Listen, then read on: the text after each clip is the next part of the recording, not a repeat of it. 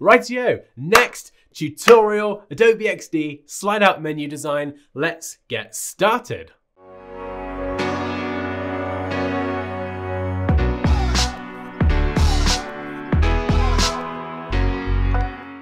Hey guys, you're watching Dansky, the place to be to develop your creative skills. And in this tutorial, we're going to jump into Adobe XD and learn how to create a slide out menu design. And if you'd like to follow along, there is a link in the video description to download the XD file that you're gonna see in a moment so you can follow along. But without further ado, let's jump into Adobe XD. And yeah, I'm gonna, I'm gonna keep the glasses on for the duration of this video. We'll jump into XD and I'll show you how to create this effect. So you can see I'm in XD now.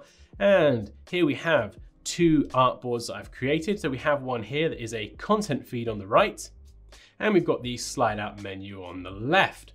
And in fact, I'm actually just gonna swap these around. I think it's gonna make a little bit more sense to me in my head, but you might have them a different way around. It's entirely up to you. So first of all, I've created the content. If I go to the layers panel in the bottom left corner, I can just click on each of these artboards and you can see I've named all of the layers. So structuring your files, your artboards in XD is super important. And when we animate this in a moment using XD's auto animate feature, we're gonna need to have our layers named the same across each of the artboards so that XD knows which bits to auto animate. So if I jump over here as well, you can see this artboard has a similar structure with all of the layers named as well. So I've named everything, I've kept everything lowercase, no spaces, just hyphens. So I kind of have like a little bit of a, a, naming system for all of my layers. It just makes things so much easier with everything kind of tidied up like that. Okay, so you can see we have the content feed here. We have the slide out menu here. Now, you can use XD's overlay feature to have a menu overlay if you want, but we're gonna be doing kind of more of a, like a slide, like a push a little bit. I'll show you what I mean. So we can actually go and set up the animation itself right now. It's really quick and easy. So when the user clicks on this menu icon here, it's gonna slide out and then they can click on the cross and it's gonna slide back in. So if we go over to prototype mode at the top, what I can do is click on the menu icon. This is a grouped icon. These three lines have been grouped together. And I can click on the blue tab and drag this over to this artboard. So when a user taps, that's the trigger. When they tap on the menu icon, the action is an auto animate and you can choose your easing type. Definitely experiment with some of these, but I'm gonna just keep it ease in, out, nice and simple, and then press 0.5 as a duration, press return.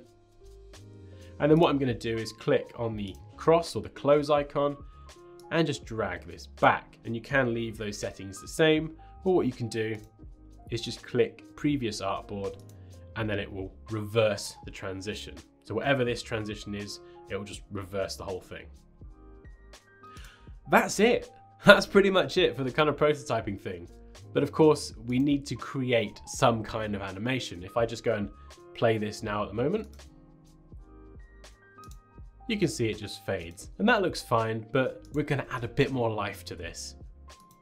So first of all, what I'm going to do is just drag over all of the content on this artboard and then go up to edit down to copy and then jump over to this artboard on the right and go edit and paste.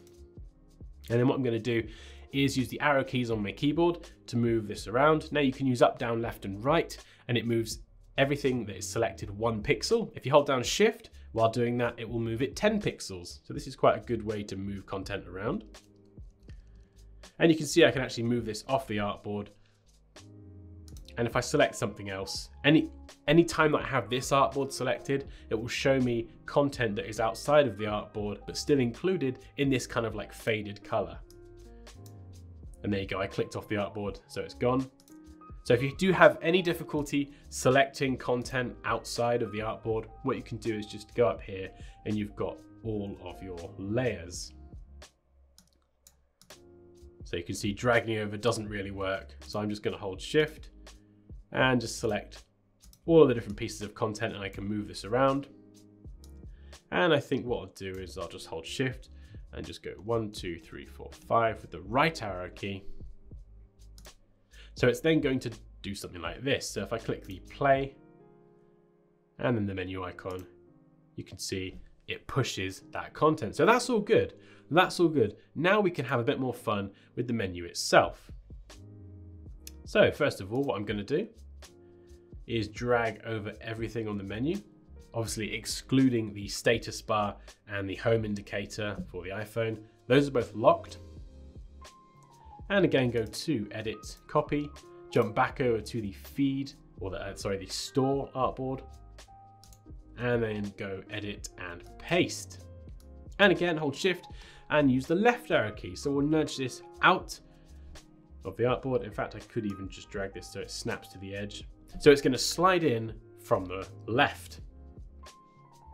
And if I play this now,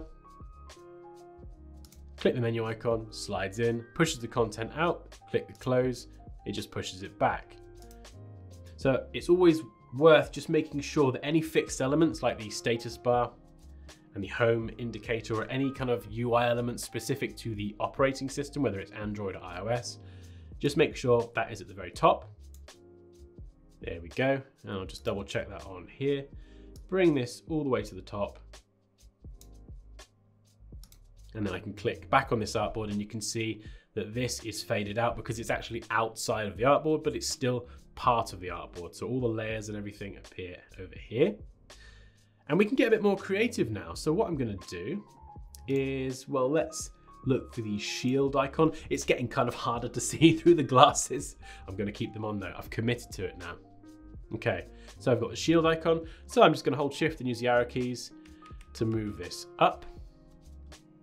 And what else could we do? We could select the store link and I'll hold shift and go one, two, three, four, five with the left arrow key. And then the locations link will go one, two, three, four, five, one, two, three, four, five, one, two, three, four, five. So I'm gonna move these out. So you can see sometimes it doesn't always select what I actually click on and it selects this large rectangle, even though it's underneath. If you get any issues like that with selecting things, just go over to your layers panel and you'll be able to select it there. One, two, three, four, five. One, two, three, four, five. Now the reason that I'm counting how many times I press the arrow key whilst holding shift is that I want a consistent stagger. If I just did this manually, they would all come in uh, and it wouldn't be like really, really smooth. So what I'm doing with this staggering effect, as you'll see in a minute, is they will all come in at a slightly different time. So the store one will arrive at this point here first, location will arrive second, and it's gonna look really, really smart. And lastly, we've got the button down here. So again, you can see by clicking it selects the rectangle for some reason. Um, so I need to just find this. And again, this is why it's really good to use folders and layer names because now I can just scan down here and go, there we go, button, tap here to log out. I know where those uh, layers are. And what I can do is just go shift one, two, three, four, five, one, two, three, four, five. And then that is gonna slide up from the bottom. In fact, I'm actually gonna nudge this outside the artboard. And if I click on the shield icon, I'm actually gonna drop the opacity of that. So it's gonna fade in and transition to this position at the same time. And the last change is I'm actually gonna select the menu icon over here and bring the opacity to zero because of course I don't want a, a, menu icon and a cross, that could be a bit confusing. I want the user to see that there is a cross uh, or a close icon on this and that's what will take them back. So just to recap, if I click over here, what's gonna happen is all of these elements, I've moved the position of them, I've changed the opacity, they're all going to auto animate into the positions over here on the right. So if I play this now, so we click on the menu icon, everything just slides in. You see that nice little stagger there as well. And if I click this again up here, we can just play that again. So the shield just drops down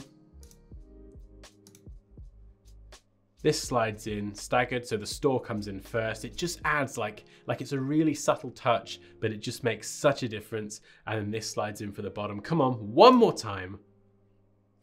Boom, slides in. Click on the cross, slides out. Rightio, so there we go. That's how to create a slick sliding menu animation using the auto animate feature all in Adobe XD. And remember, if you want to have a go at this yourself, there is a link to download the XD file in the video description. Questions or comments down there as well. But as always, like this video if you enjoyed it. Take care and I'll see you next time.